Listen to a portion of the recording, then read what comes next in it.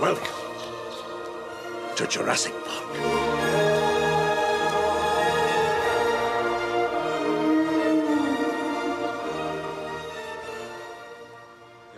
Well, remember that famous clip? Richard Southern joins us to chat about some of the day's more interesting stories, including the possibility of a real life Jurassic Park.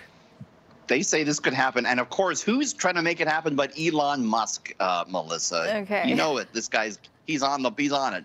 Uh, he owns this company called Neuralink, and what they want to like connect humans to computers, their brains to computers. The co-founder of Neuralink said he has the technology to build a real life version of Jurassic Park to bring the dinosaurs back to life. Uh, he says we could do it in about 15 years uh, with breeding and engineering. He said it wouldn't be genetically authentic dinosaurs, but we could come pretty close. He didn't elaborate on what type of technology would be used, but claimed it would actually increase biodiversity. Of course, the 1993 movie saw the, uh, you know, the DNA plucked out of uh, the amber and the dinosaurs brought back to life. If they did do this, you know, I would probably be that guy that got eaten while he was on the toilet. You remember that scene? That would be me, I think. How could I forget that scene? But did we not learn anything from the movie? They literally they remade the movie again, and it ended the same way. I'm not understanding what we're doing here. It's crazy. Don't do this. No, no. thank you.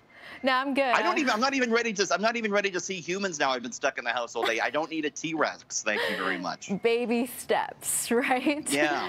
Now let's move on to another mind-bending experiment. This one also has ties to Elon Musk as well, Richard. This is the same company I'm talking about, Neuralink. They want to connect human brains to computers. They're starting with monkeys, and they just released this video. This is a nine-year-old macaque. He's playing Pong on a computer. And now, what he's doing, he's sipping a banana smoothie. They have that there, so he wants to play. He likes his banana smoothie.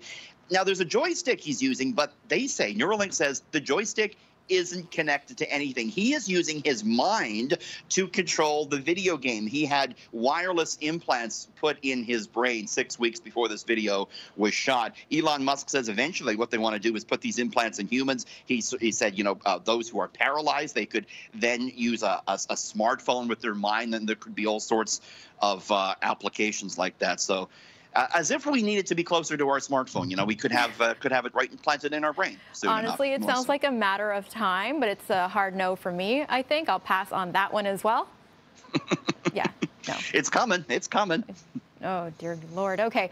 Now, a new Nirvana song has been posted online, but the band itself actually had nothing to do with it. Yeah, it was just the other day, actually. We marked the 27th uh, anniversary of the, the, passing of Kurt Cobain. Uh, but they got a new track out, Nirvana, sort of. Uh, there's actually a, a, group here in Toronto uh, to raise awareness for, for mental health. They, they have a, an AI program where they analyze songs from a band, 30 songs, and then they create a new track. The computer creates a new track. So for those who don't know, this is an original Nirvana track. Let's take a listen. Original Nirvana.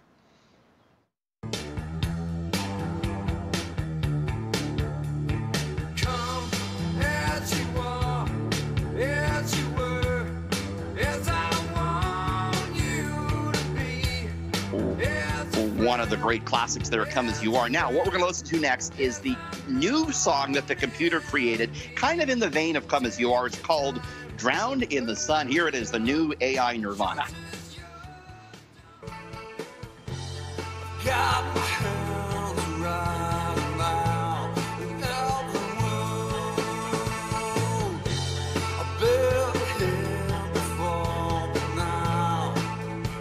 Everything but the vocals created Melissa by the computer itself. So there's further proof now the computers are they, they're making music and they're maybe they're coming to get our jobs next or something like that. uh, I don't know about that one, but uh, that sounds pretty good. It actually sounds pretty good. Listening to it. I'm grooving to it. I'm liking it. I'm liking it. Absolutely. Well, thanks so much, Richard. we have a great weekend. We'll see you on Monday. See ya. Thanks.